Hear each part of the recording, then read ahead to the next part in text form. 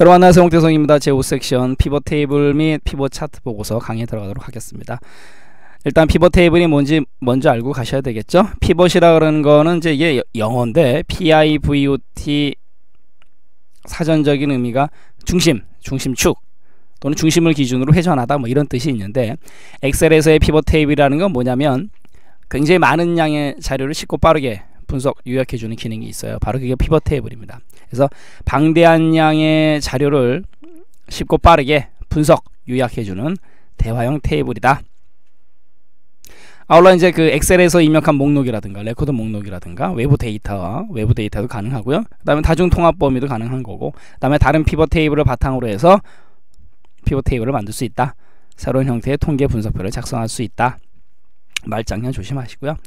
그 다음에 그 피벗 테이블 만드는 방법은 엑셀 레코드 목록에서 피벗 테이블을 작성할 경우에 일단 목록 내부에 셀 포인터를 위치시켜야 된다. 이거 조심하시고 그 다음에 삽입 탭에 표 그룹에 피벗 테이블이 있어요. 이건 잠시 후에 한번 직접 우리가 보기로 하고요.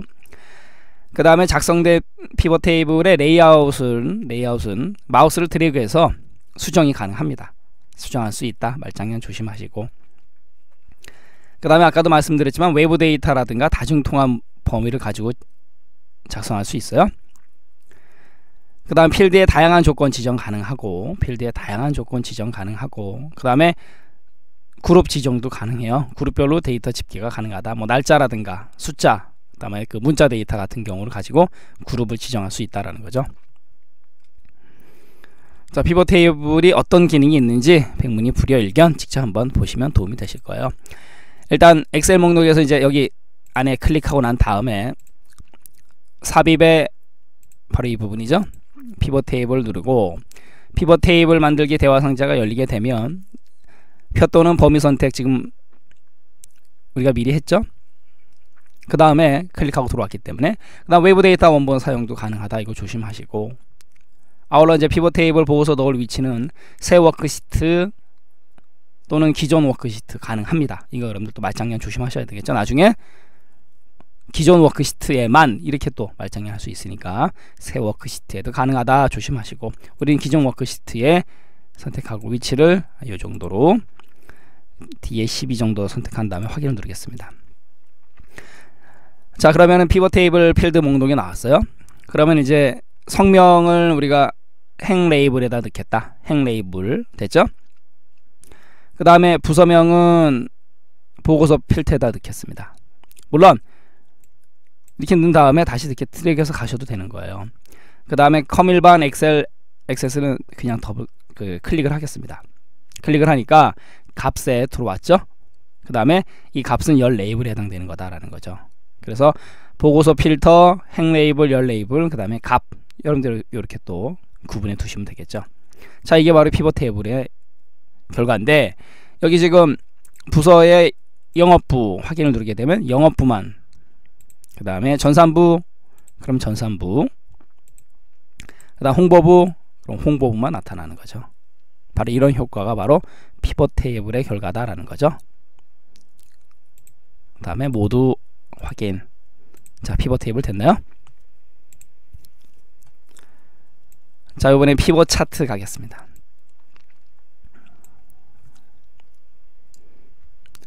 피벗 차트라는 건 뭐냐면 그 피벗 차트 아직 우리가 차트는 배우지 않았지만 그래프 차트는 배우지 않았지만 가겠습니다. 피벗 차트 작성 시 자동으로 피벗 테이블도 함께 만들어진다. 이 얘기는 뭐냐면 피벗 테이블을 만들지 않고는 피벗 차트를 만들 수 없다라는 거죠. 말장난 조심하시고요. 왜 그러냐면 피벗 차트잖아요. 그죠? 피벗 차트이기 때문에 피벗 테이블을 만들어야 된다라는 거. 그 다음 그 피벗 테이블과 피벗 차트를 함께 만들었어요. 그 다음에 만약에 피벗 테이블을 삭제하게 되면 피벗 차트는 어떻게 되겠는가? 그대로 남아 있어요. 그러신 그 대신 피벗 차트는 일반 차트로 변경이 되는 것 뿐입니다. 조심하셔야 돼요. 삭제되는 게 아니고 피벗 테이블을 삭제하게 되면 피벗 차트는 피벗 차트는 일반 차트로 변경되는 것 뿐이에요. 요 말장난 이게 시험 문제 나온 텍스트 그대로거든요. 조심하시고 그 다음 피벗 테이블 구성 요소. 일단은 아까도 보여드렸지만 보고서의 필터 필터 필드가 있고 아까 우리 부서명으로 했었죠? 기억나시죠? 그 다음에 값 필드 바로 이 부분이죠. 값 필드. 그 다음에 열 레이블 열 레이블. 그 다음 이쪽이요. 행 레이블. 여기 행 레이블이죠? 이 이름을 가지고. 그 다음에 여기 보고서 필터 부서명. 그 다음 여기가 바로 값 영역이 되는 거죠. 바로 이 부분이 되는 거죠. 행 레이블 여기. 그죠 자 이렇게 해서 작업이 구성 요소 알아봤고요. 그럼 우리 피벗 테이블 피벗 차트 만들기 한번 가겠습니다. 자 여기서 이거 하나 보여드릴까요? 지금 이렇게 부분적으로 선택하고 제가 딜리트를 누르면요 피벗 테이블 보고서에서 이 부분을 변경할 수 없습니다. 부분적으로는 삭제가 안 된다는 거죠. 이해하셨나요?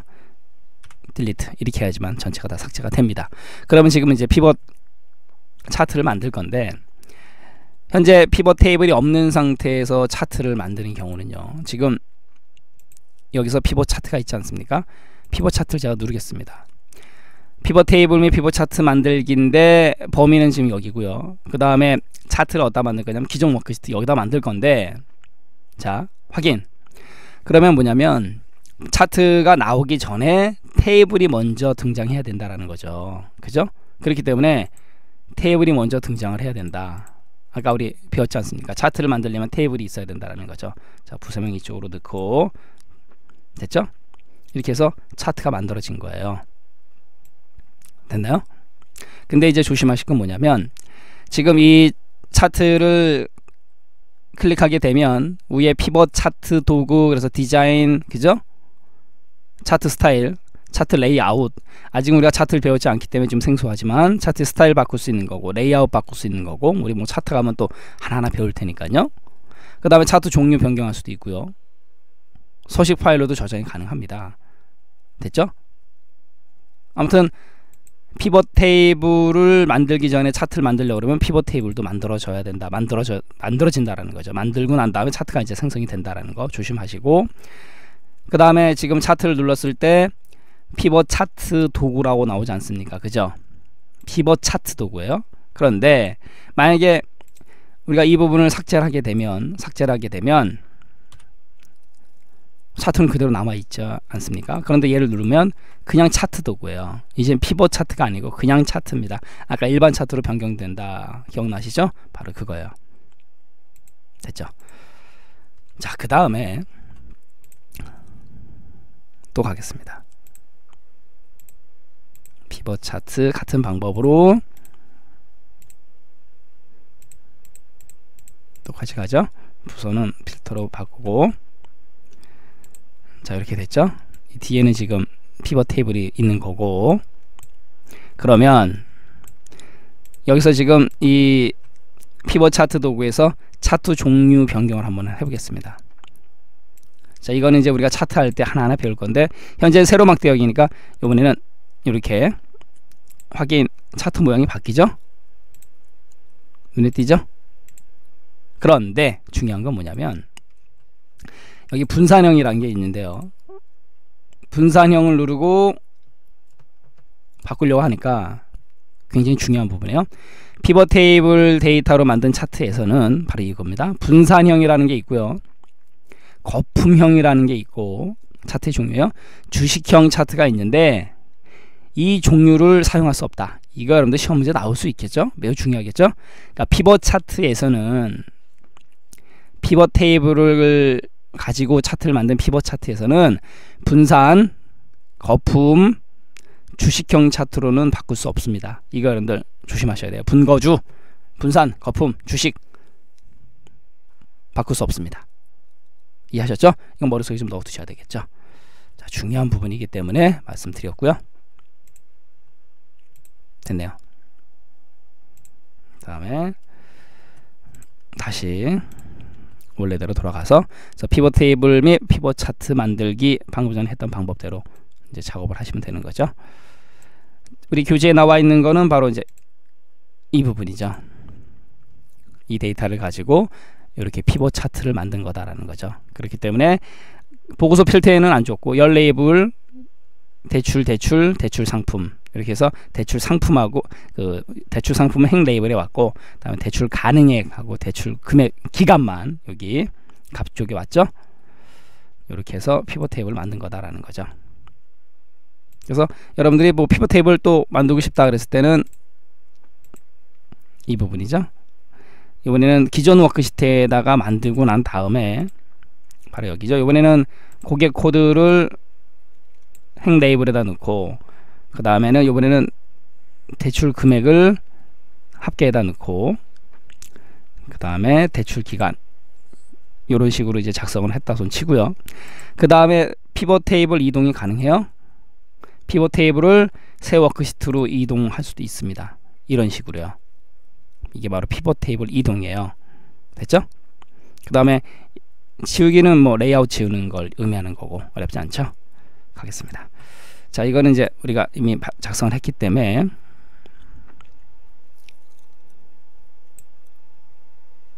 자 피벗 테이블 레이아웃 만들기 가겠습니다. 방금 전에 보여드린 거죠.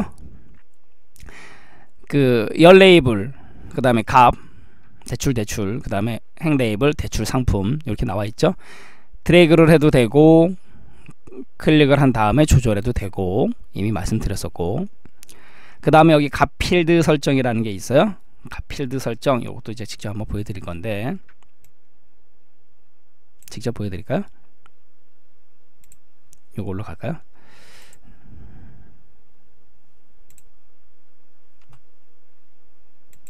차트를 좀 옮기고 여기 보면 지금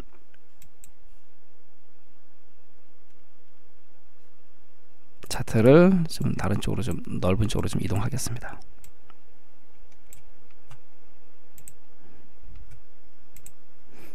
자 됐죠? 지금 여기 보면은 마우스 왼쪽 버튼을 누르게 되면 값 필드 설정이 있죠. 값 필드 설정을 누르고 여기에 지금 우리는 합계를 구했거든요. 합계를 구하고 뭐 평균 확인 이렇게 되면 평균으로 바뀌어요. 바로 이 부분이죠. 평균 지금 평균으로 다 바뀌고 있죠. 바로 이 부분입니다.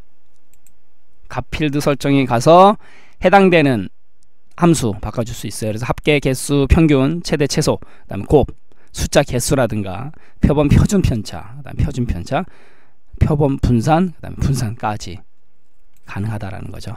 아울러 표시 형식을 눌러서 우리가 컨트롤 플러스 1번 누른 셀 서식의 효과도 볼 수 있다라는 거죠. 됐죠? 바로 그 얘기예요. 그 다음 피벗 차트 만들기는 아까 이제 말씀드렸었는데 이미 보여줬었는데 새로운 피벗 차트를 만들 때 삽입 표의 피벗 테이블 피벗 차트 기억나시죠? 이때 피벗 테이블 보고서도 함께 만들어진다. 아까 눈으로 직접 확인하셨고 그죠? 그 다음에 이미 작성되어 있는 피벗 테이블 보고서를 가지고 차트를 만드는 방법도 있어요. 이럴 때는 피벗 테이블 도구에 옵션 탭에 도구에 가시면 피벗 차트가 있어요. 바로 이 부분이죠. 여기서 작성을 한다. 난 조심하실 건 뭐냐면 아까도 보여드렸지만 분산 주식 거품형 차트로 변경할 수 있다. 이걸 제외한 다른 차트로 변경 가능하다. 그러니까 얘네들은 안 된다라는 거죠. 그러니까 얘네들을 제외한 다른 차트로 변경이 가능하다. 이거지. 예, 말장난 조심하셔요. 얘네는 안 돼요. 아, 이해하셨죠? 분산 주식 거품은 안 된다라는 거. 어디에서 피벗 차트 됐죠? 아울러 일반 차트의 서식 지정과 차트 종류 선택 이거는 그 피벗 차트에서도 동일하게 적용이 돼요. 그래서 여러분들이 아직 차트를 배우지 않으셨기 때문에 차트 배울 때 피벗 차트에서도 가능하다 그렇게 알고 하시면 되는 거고 분산 주식 거품 이 차트로만 변경이 안 된다 알고 하시면 되겠죠. 자 피벗 테이블에서의 옵션 탭 가겠습니다. 옵션 탭에 보면은 그 옵션 같은 경우 요 이 부분이죠. 그 옵션 피벗 테이블 옵션에서 다양한 옵션 지정 가능한 거고 난 필드 설정은 방금 전에 우리 값 필드 설정 같은 효과고요. 그룹은 말씀드렸었죠. 날짜라든가 숫자, 문자열 같은 경우 그룹 지정 가능하고 또 해제도 가능하고요. 그 다음에 정렬 기능도 있습니다. 정렬 기능이 있고 그 다음에 여기 세로 고침이라는 게 있는데요. 이건 이따 한번 보여드리겠습니다. 매우 중요한 부분들이에요. 세로 고침, 세로 고침. 그그 다음에 동작 뭐 지우기 아까 우리 피벗 테이블 이동 한번 했었죠 그 다음에 레이아웃 지우기 보여드렸었고 그 다음에 도구 뭐 피벗 차트 수식 이것도 이따가 한번 우리 실습을 통해서 보여드릴 거고 그 다음에 표시 숨기기 필, 그 필드 목록이라든가 플러스 마이너스 단추 또는 필드 머릭을 표시할 때 또는 숨기기 할 때 사용하는 거다라는 거죠. 자 옵션 한번 보겠습니다. 여기서 볼까요? 자 지금 요거를 다시 우리가 지우고요. 다시 만들죠 자 삽입의 피벗 테이블 와서 기존 워크시트 요 정도에다가 확인. 성명 부서. 부서는 필터로 가고요. 자 바로 이 부분이죠. 지금 여기에서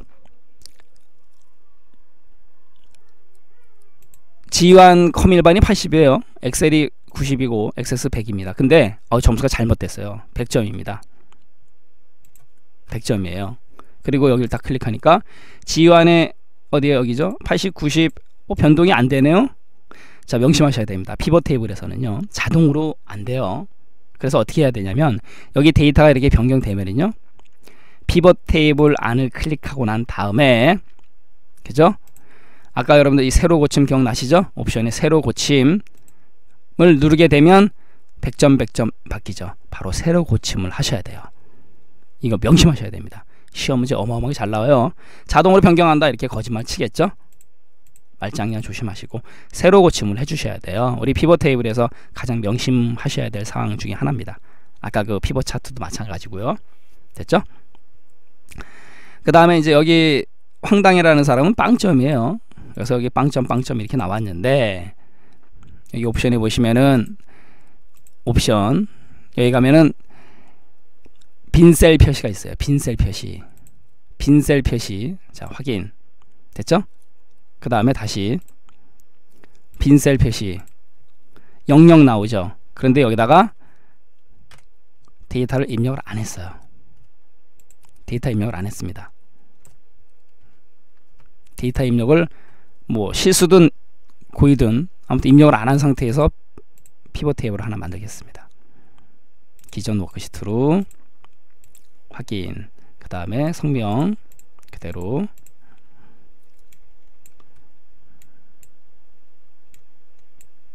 그 다음에 여기가 지금 개수로 돼 있죠? 개수로 돼 있으면 값 필드 설정 가서 합계로 바꾸면 돼요. 합계.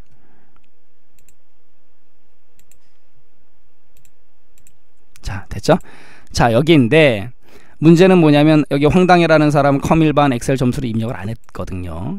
그러니까 여기도 이렇게 빈셀로 나타나는데 옵션에 가셔가지고 빈셀 표시가 지금 체크가 되어 있거든요 그러니까 빈셀 표시가 됐죠 근데 이걸 해제하게 되면 여기는 입력을 안 했지만 여기 00으로 나와요. 이거 여러분들 조심하시기 바랍니다. 이해하셨죠? 빈셀 표시를 체크하게 되면 빈셀로 표시가 된다. 이것도 여러분들이 좀 조심하시기 바랍니다. 됐죠? 필드 설정은 아까 우리가 봤던 부분들이고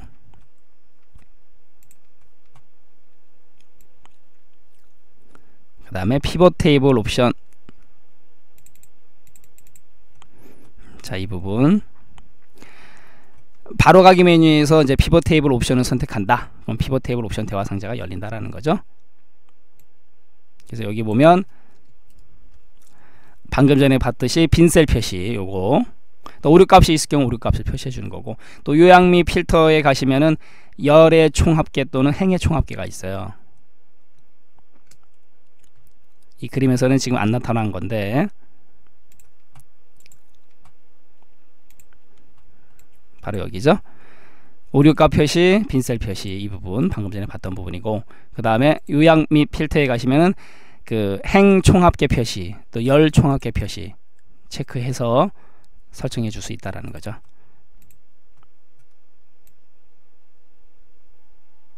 자 이번에는 계산 필드 삽입 및 삭제하기 가겠습니다. 이건 뭐냐면 이미 작성을 했는데 또 다른 계산이 필요한 거예요. 그래서 계산할 필드를 삽입하는 기능이다. 말 그대로 계산 필드 삽입이고 그 요약 함수 및 사용자 지정 계산에서 원하는 결과가 나오지 않은 경우 계산 필드를 우리가 유저가 직접 만들어 줄 수 있다라는 거예요. 됐죠? 여기 옵션에 가시면 아까 우리 요 수식 한번 보여드리겠습니다 했을 때 이 수식에 계산 필드라는 게 있거든요. 지금 보면 여기에 지금 이미 컴 일반 스프레드 데이터베이스 합계는 구해놨는데 여기에 뭔가 이제 평균을 구하고 싶다. 그럴 때 수식의 계산 필드 단추 누르고 난 다음에 계산 필드 삽입이 나오면 여기다 평균 산출하겠다. 그 다음에 는 가로 열고 컴퓨터 일반 더하기 스프레드시트 더하기 데이터베이스 가로 닫고 나누기 3 평균을 구할 거니까요. 그리고 이제 추가 버튼을 누르게 되면 추가가 돼요. 저희가 직접 한번 보겠습니다. 계산 필드 삽입하기 지금 결과죠 이게 지금 여기 보면 요 요걸 나타내게 하고 싶다라는 거죠. 지금 여기는 없거든요. 바로 이 부분이죠. 그러면 수식에서 계산 필드 그럼 계산 필드 삽입이 나오죠? 그럼 여기서 우리가 평균 산출이라고 입력하고 그 다음에 0은 지우고요. 가로 열고 컴퓨터 일반이죠? 컴퓨터 일반 더하기 그 다음에 스프레드 시트 더하기 데이터 베이스 가로 닫고 나누기 3 이런 평균이 구해지겠죠? 추가. 그 다음에 확인을 누르면 바로 이쪽에 평균 들어왔죠. 이렇게 해서 계산 필드를 갖다가 줄 수 있다라는 거예요. 됐죠 다시 삭제하고 싶을 때는 이름에서 평균 산출 누르고 난 다음에 삭제를 누르고 확인 누르게 되면 없어진다라는 거죠. 이게 바로 계산 필드 삽입이에요. 어렵지 않죠? 계산 필드 삭제까지 말씀드렸고요. 그 다음에 피벗 테이블 필드 값 설정 및 그룹화인데 이 같은 경우는 아까 보여드렸던 부분이죠. 그래서 값필드 설정 대화 상자에서 여기 값필드 설정에서 데이터 함수 바꿔줄 수 있다라는 거고 그다음에 데이터 새로 고침 아까 말씀드렸었죠? 피벗 테이블은 원본 데이터와 연결되어 있지만 원본 데이터가 변경될 때 자동으로 피벗 테이블 내용을 변경하지 못한다. 이거 알고 가셔야 되고. 그럼 어떻게 해야 되느냐? 피벗 테이블에서 데이터의 새로 고침을 실행하거나 또는 새로 고침 도구를 클릭해서 그렇죠. 말 그대로 새로 고침을 해줘라 그러니까 안 된다라는 거 명심하셔야 되고 새로 고치면서 새로 고침해 줘야 된다라는 거 아셔야 되겠죠. 바로 그 부분이고 그 다음에 그룹화에 관련된 마지막 내용이 되겠네요. 자 그룹화 가겠습니다. 여기죠. 지금 여기 보면 피벗 테이블을 좀 하나 또 오늘 피벗 테이블 계속 만들면 뭐 여러분들 좋죠. 만드는 방법 눈이 익히셔야 되니까 자 날짜 행 네이블로 가게 하고요. 그 다음에 성명 부서명은 필터로 가게 하고 자 이렇게 가겠습니다. 이렇게 작업이 됐죠. 그 다음에 성명은 일단 이쪽으로 한번 밀고 날짜를 먼저 보려고 자 이 상태에서 지금 마우스 오른쪽 버튼 누르게 되면 그룹이 뜨죠. 그룹에서 초, 분, 시, 일, 월, 분기, 연 이런 식으로 그룹화할 수 있어요. 됐죠? 1, 4분기, 2, 4분기, 3, 4분기, 4, 4분기 이런 식으로 그룹을 지정해 줄 수 있다라는 거죠. 됐죠? 이런 식으로 또 그룹 해제 그럼 그룹이 해제된다라는 거죠. 이게 바로 그룹 해제예요. 그래서 그룹이라는 거는 숫자, 날짜, 그다음 문자열도 다 가능하다라는 거좀 알고 가셔야 되겠죠. 자, 이렇게 해서 여러분들 우리 피벗 테이블 및 피벗 차트 보고서 중요한 거 위주로 해서 그 실습까지 다 해드리고 하나하나 보여드렸는데 이 피벗 테이블은 실무에서도 많이 이용이 되는 부분이기 때문에 여러분들이 피벗 테이블 시험을 떠나서라도 잘 알아두시면 아마 도움이 많이 되실 겁니다. 자, 피벗 테이블 다시 한번 정리해드리면 방대한 양의 자료를 쉽고 빠르게 분석 요약해준다. 또 피벗 차트 작성 가능하다라는 거 조심하시고 그 다음에 새로 고침 반드시 명심하셔야 되겠죠? 자, 오늘 수고 많이 하셨고요. 다음 시간에 우리 목표값 찾기와 시나리오 시간에 찾아뵙도록 하겠습니다. 감사합니다.